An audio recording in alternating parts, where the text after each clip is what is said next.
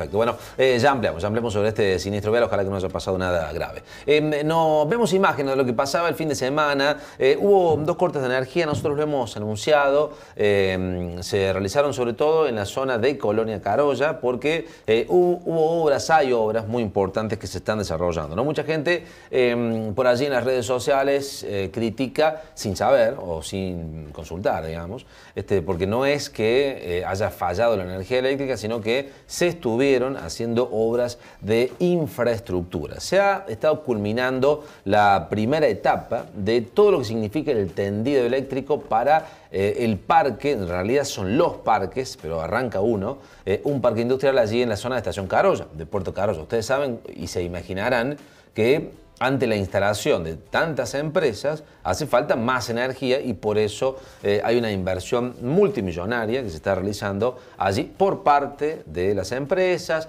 Mm, incluso la propia empresa provincial de energía ha provisto algunos cables, algún cableado para poder seguir con esta obra que es fundamental para que los parques industriales puedan ponerse en marcha. Y además, Además de eso, el corte más extenso, que fue en la zona norte de Colonia Carolla, fue para realizar eh, un, tendido de línea de media tensión para el eh, digamos, complejo productivo o complejo empresarial eh, o Fabril que se está montando sobre calle 100. ¿Mm? Hemos visitado en su momento nosotros a la gente de Cerámica Centro, de la familia Fantini, que está haciendo allí una obra enorme para fabricar este, ladrillos, y allí se hizo bueno, un cambio de conductores entre la calle 2 y la calle 21. Eh, sobre la calle 34 también se estuvo trabajando entre la calle 40 y la calle 100, donde se eh, pusieron cables de altísima tecnología que permite, por ejemplo,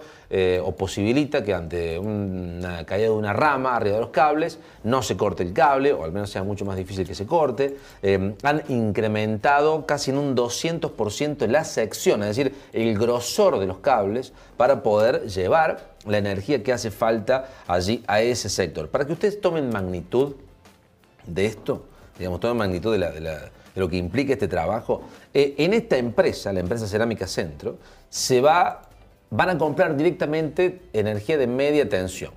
Es decir, eh, van a comprar energía de media tensión directamente. Eh, estiman que van a consumir 6 megavatios.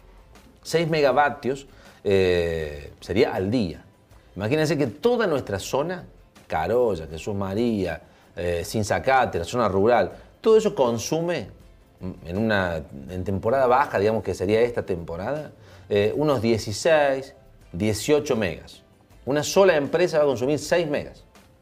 Para que usted se imagine la magnitud que tiene esa empresa y la magnitud de la obra también que se estuvo haciendo este fin de semana. Así que bueno, felicitamos por supuesto a todas las cuadrillas que estuvieron trabajando.